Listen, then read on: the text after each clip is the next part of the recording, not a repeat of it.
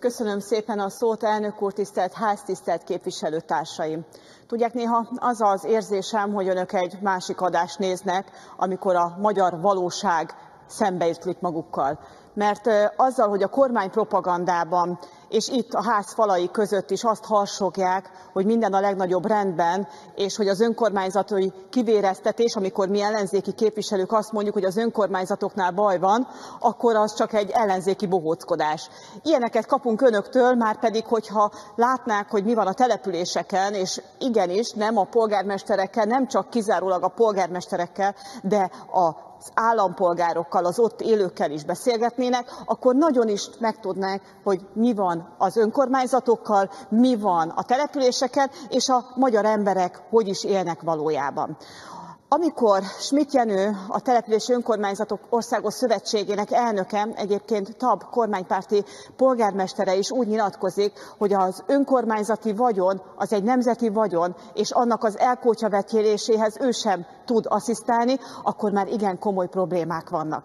Mert láthatóan önöknek semmi más nem fontos, csak bebiztosítani azt a hatalmat, amiért 11 éve itt ülnek a parlamentben, és láthatóan önök most rettegnek, és próbálják próbálják a propagandával leplezni a magyar valóságot. Csak hogy az embereknek már nyílik a szemük, ezt úgy gondolom, hogy nem elég hangsúlyozni itt a parlamentben, mert láthatóan az emberek úgy látják, hogy az önök által végzett kormányzati propaganda és egyéb tevékenységek semmilyen segítséget nem nyújtanak a magyar embereknek. Amikor mi ezt mondjuk, akkor vádolnak minket azzal, hogy mi csak itt beszélünk, és nem teszünk semmit. Igenis tettünk. 1184 módosító indítvány nyújtottunk be a 2022-es központi költségvetéshez, és önök egyetlen egy darabot nem támogattak a Költségvetési Bizottság ülésén, és azokban a bizottságokban sem, amelyekben a képviselőtársaim, ellenzéki képviselőtársaim ezeket a módosító indítványokat benyújtották.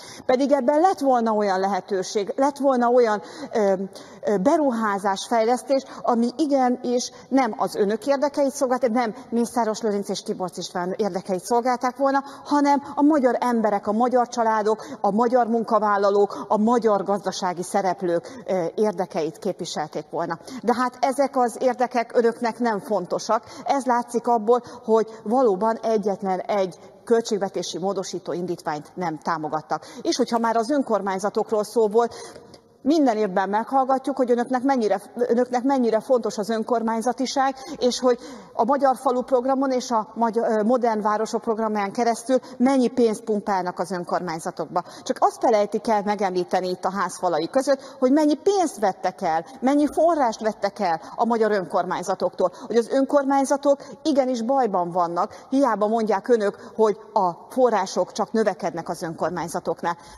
Valóban a fejlesztéseknek egy részét az Európai Unió jóvoltából megfinanszírozták. De önök a szolidaritási hozzájáruláson keresztül elvonják ezeket a pénzeket az önkormányzatoktól, és az önerőt nem tudják biztosítani. Majd persze utána elvárják önök, hogy a polgármesterek és képviselőtestületek hajbókoljanak és könyörögjenek azért, hogy az önerőt ki tudják fizetni, vagy esetleg egy régi elmaradt beruházást pótoljanak, vagy fejlesztenek, hiszen érzik önök is, hogy a magyar emberek most már türelmetlenek, amikor arról van szó, hogy az önkormányzat nem tud megcsinálni egy-egy olyan vágyott beruházást, ami mondjuk hosszú-hosszú évek óta húzódik. Tehát amikor arról beszélünk, hogy az önkormányzatoknál igenis baj van, akkor erre utalunk. Arra, hogy nincsen meg az az önerő, amivel ezeket a pályázati forrásokat ki tudnák pótolni. És az pedig, hogy ez a függőségi viszony, amelyet önök az önkormányzatokkal és polgármesterekkel kialakítottak, ez 2022 áprilisáig még nagyobb lesz, ez már most világosan látszik.